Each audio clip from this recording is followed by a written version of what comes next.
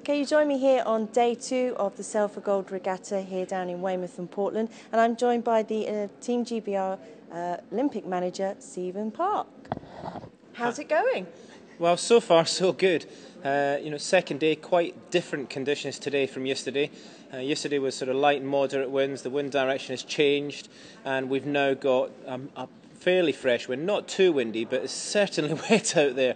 Everyone's coming in, looks like they've been swimming ashore rather than being in their boats. Um, but performance-wise, has been going fairly well, fairly steady performances. Um, we had about seven on the on the sort of podium positions at the end of last night, but of course it's only day one of the regatta, so you know not getting too excited after one or two races. A few more performances today. Things have gone fairly well.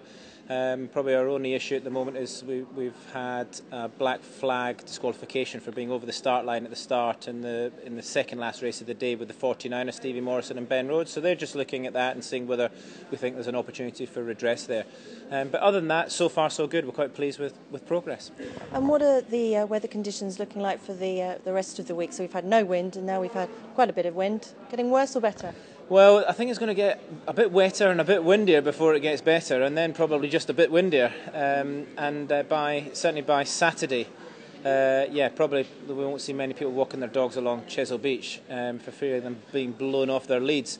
Um, but uh, it will hopefully dry up a little bit, which will be quite nice. So as long as it's windy but not too windy and not too wet, then everyone should be quite happy.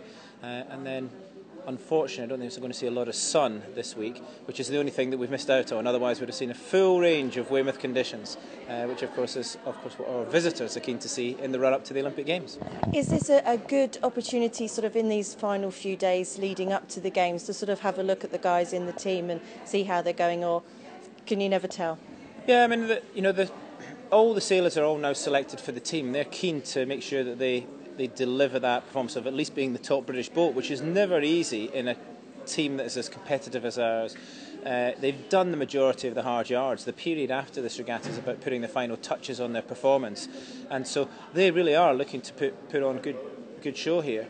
Um, and just to make sure the routines that they're running through are working for them. So it's about us uh, from a a support team perspective, supporting the athletes and working with them to make sure that the routine that they've got through the day, the routine that the team has got, is going to be optimal for their performance come games time. And this is really the final opportunity we've got to trial that. Next time we'll be doing it for real.